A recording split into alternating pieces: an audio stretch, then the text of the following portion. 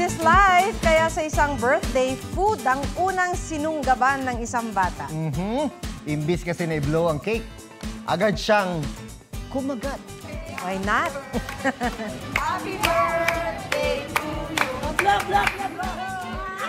Wish granted agad sa unang kagat ang makakain ng chocolate cake. Yan si Baby Layton dumating sa birthday celebration ng isa nilang kamag-anak. Habang kumakanta ng birthday song, inakala nilang makikiblow din siya sa candle. Pero ang plot twist, cake pala ang kanyang puntirya. Kinaaliwan online ang video ni Baby Layton dahil sa murang edad nga raw, alam na niya ang kanyang priority.